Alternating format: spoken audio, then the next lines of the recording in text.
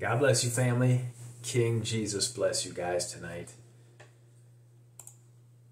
Revelation 18:23 And the light of a candle shall shine no more at all in thee and the voice of the bridegroom and of the bride shall be heard no more at all in thee for thy merchants were the great men of the earth for by thy sorceries were all nations deceived now talking about the doom of Babylon uh, in Revelation here and by thy sorceries were all nations deceived. So I see a headline earlier today on End Time Headlines. Pastor John MacArthur causes firestorm of reactions after saying there is no such thing as mental illness and calls PTSD grief.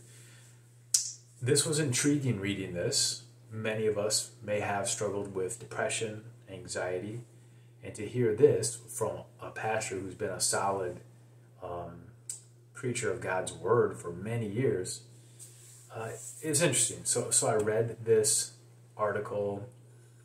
One in 25 U.S. adults lives with serious mental illness, etc., etc. Okay. And he goes on to speak about how the current culture is now targeting children to trap them in sin.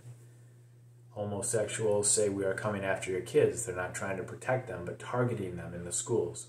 They're targeting them through the media. Disney and companies like that, yeah, they're grooming children as, as well. The war is on children. Uh, MacArthur asserted that the increased diagnosis of children with mental illness today is not teaching them personal responsibility, and medicating them for these illnesses only turns them into drug addicts and potentially criminals. And he, he finishes this article here. He's quoted quote, I was reading a book, an interesting book called A Profession Without Reason. It's a book that shows, basically, this is pretty shocking to some of you, that psychiatry and psychology is finally admitting the noble lies they've been telling for the last 100 years. Okay, so what's the tie-in with Revelation 18:23? well, in the Greek, the word for uh, sorcery or witchcraft is pharmakia. Okay? Uh, talking a little bit here from BibleRef.com that fleshed out just a paragraph here uh, regarding this verse. This verse implies that Babylon was a city of sorcery. The Greek word for sorcery is pharmakia, from which we derive the word pharmacy.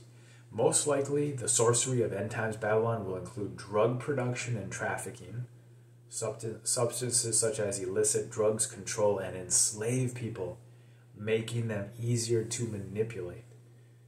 Okay, all versions of sorcery will be ended when God destroys Babylon. So it made me think, like, what if the quote mental illness is uh is is not necessarily something that needs a pharmaceutical, um, and like Pastor MacArthur said in this article, uh, he's talking about not so much that it's mental illness, but um, sorry guys, let me find what I was reading on that. Oh, where was it? I'm not finding it exactly, but oh, I think I was right in the title. Yeah, calling it grief. What if it's more just, uh, you know, grief we have to get through? I think of like King David and other people from Scripture who are going through it um, you know, it doesn't talk about them making a concoction, a, a medication. they were grieving and, and they were they were they were sore grieved for a period of time.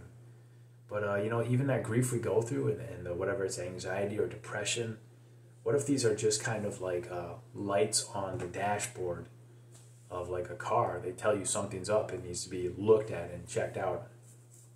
I kind of like what he says because just think if you're someone who says, "Oh, I I have depression, I have bipolar or something," and uh, you just kind of accept it, and um, then you're taking a pharmaceutical probably, for you know paying big pharma, taking these pharmaceuticals, sorcery, witchcraft. Who knows what kind of synthetic things they put in there? Who knows if they're maybe praying over the whole batch of pills, you know, and you could be um, intermingling with just just something weird, you know. But anyways, when you say you have a condition, like you kind of take that as part of identity. Um, I know when I was like a 16 year old kid, I was getting in trouble and stuff. and they diagnosed me with like um, depression, and then I was on a pharmaceutical right away. And I tell you what, I felt weird being on those things, and when I got off it, I felt weird coming off them too, man. It was weird. But um, anyways, especially as believers in Jesus, we are born again. We are new creatures in Christ, new creations. Um, I like I like what he's talking about here. It gives people more kind of ownership for what are you going through and whatever you're going through, whether it was trauma put upon you, something you've gone through, a hardship, a loss, and you're really in that valley, we've all been there. Um, I think that can be a great opportunity to hug the cactus, to uh, get through it and come out, you know, shining, refined through the furnace. So I don't know. What if taking these pharmaceuticals could um, dampen that experience? Like King Jesus on the cross, they offered him the gall mixture to deaden his pain as he was suffering. He tasted it. He's like, no, I don't want it. I want to be sober to face my struggle, my anxiety, my depression. Sure enough, King Jesus was feeling those kinds of things while he was on the cross. So, I, I, turn us back again to Revelation. For by thy sorceries were all nations deceived. We see a lot of people acting weird, like like zombies, like losing their minds, and, and who knows if it's in the, the pharmakia uh, you know, making marijuana legal in a lot of places. Who knows what they're cutting that with, and or people vaping on different types of substances. Who knows what's in there? and What's been cursed over those products? But people are acting like we've never really seen. I've never seen in this country. Um, and what if it's the pharmakia? And we know by, from God's word, uh, Revelation 18, that that's going to be a huge thing. All the nations, the scripture says, by thy sorceries were all nations deceived. So pharmakia is a, an agent and a tool for deception. Makes people easier to control. Illicit drugs control and enslave people, making them easier to manipulate. So it seems as if these devils uh, in the world are already getting their repetitions in right now by pushing a lot of drugs, pharmaceuticals, for decades really with these type of quote medical illness um, conditions. Now, of course, I'm not a doctor. I'm not giving medical advice. I am someone who's had depression before, but I'm also a man who's reading God's word and seeing how the pharmakia is uh, is the witchcraft, is the sorcery, and we get words for our drugs from that word. That's uh, that's interesting. So you guys pray the Holy Spirit, especially if you're taking any of this stuff and uh, see if there might be alternate ways to also seek to deal with any condition. You seek out a trusted brother. Uh, Proverbs, I believe, says with the counsel of like um, one or two. You know, if you if you take wise counsel in a few people, like uh, I can't remember exactly how it says, but like uh, you'll you'll be blessed for doing it. It's a wise thing to do. I like Pastor MacArthur. I like what he has to say here, so I wanted to share my piece on that. Okay, guys, and to close, I wanted to say, so Kim and I, we, uh, I said to her, I want, let's praise the Lord tonight. Let's let's sing a song of worship and praise.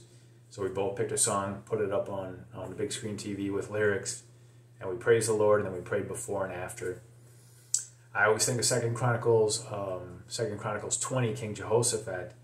He, he did the same thing. Lord, we don't know what to do, but our eyes are on you. I shared this with a good brother in Christ yesterday, and uh, it struck him. And actually, let's jump to uh, Second Chronicles 20 real quick here, guys. And I was, I'll point out a few things I saw. So there's a, there's a massive army against King Jehoshaphat and God's people, and they don't know what to do. Uh, so Jehoshaphat stood up in the assembly of Judah and Jerusalem in front of everyone. Uh, he gathered everyone together. He proclaimed a fast Okay, so that was pretty good. Uh, they started praising the Lord. And uh, the Lord, uh, who was it? This guy, by the word of the Lord, the Spirit of the Lord came upon this Jahaziel. Okay, he spoke, Do not be afraid. This is the word of the Lord. Or be discouraged because of this vast army, for the battle is not yours, but God's. Okay, so he said, Tomorrow go up. So we still need to go out there against anything. Uh, these, these um, odds that might look really tough. Uh, do not be afraid. Do not be discouraged. Go out to face them tomorrow. Let's show up to those things in our life. And the Lord will be with you. And remember, you will not have to fight this battle. Um, for the battle is not yours, but the Lord's, but God's. Awesome, awesome, awesome. And there's another section that always kind of struck me. A couple things we always praise because miraculous things can happen when we praise the Lord. And um, another thing King Jehoshaphat said was, Lord, we do not know what to do. I'm going to find that here. We do not know what to do, but our eyes are on you. Second Chronicles 2012. So I exhort you guys going forth here, whatever you are facing, if you don't know what to do, if you do and you're scared, whatever, your eyes are on the Lord. You're Peter walking on the water. You don't look at the waves and the wind. You focus on King Jesus. Okay, then the Lord here in Second Chronicles 20, he, he intervened. He slaughtered the army, turned them against each other. Three days, God's people were going back, getting all the um, all the loot, all the stuff they had, right? So that's that's what we're going to learn here. We're going to seek the Lord. We're going to praise Him. Our eyes are going to be fixed on Jesus. We're going to integrate fasting. That was one of the first things in this chapter that also um, He proclaimed a fast for all of Judah. Yeah. And the people of Judah came together to seek help from the Lord. You and your brethren, you come together, you seek the Lord. Yeah, awesome. And then, so when we do those types of things and our eyes are on the Lord, we don't know what to do, but we're focused on Him, uh, He'll do the miraculous. The Lord does the heavy lifting. The battle is not ours, it's the Lord's. That's a word for somebody out there. That was a word for my brother Greg yesterday.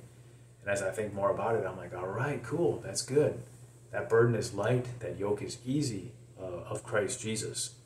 So let Jesus do the heavy, heavy lifting, like uh, the quarterback giving the ball to the strong running back who, you know, let him do that dirty work and take it up the hole and go get a touchdown for the football analogy. All right, guys, I hope that blesses you definitely wanted to share that. So if you have any mental illness things or loved ones who do, um, consider these alternate ways: the wise counsel, prayer, fasting, um, pharmaceuticals, and big pharma. We know we can't trust a lot of government type entities and big businesses, so we got to be careful with that stuff. Pharmakia, sorcery, and witchcraft. Let's go to the pharmacy. Let's get some pharmaceuticals. Uh, let's be careful with that. Alright guys, thanks for watching my video. I appreciate it. Please do hit the thumbs up and please share my video. I'll see you next time. God bless you.